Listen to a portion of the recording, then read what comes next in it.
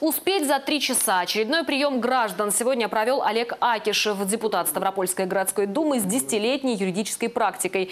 К нему приходят ставропольцы с бытовыми вопросами, проблемами ЖКХ, нарушением прав и свобод граждан. Только сегодня за квалифицированные консультации обратились больше 30 человек. Кто-то лично, но чаще отмечают «Единой России» граждане предпочитают дистанционную практику, письма и телефонные обращения. Успешных много результатов, пишем запросы, и выделяю юристов своих.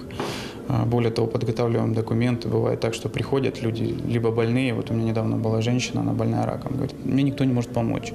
Я могу скоро умереть, мне нужно, например, там, закрыть вопросы по недвижимости. Поэтому приходится нам подготавливать жалобы, исковые заявления, э, ну, полностью там, пакет документов для того, чтобы она могла обратиться в суд.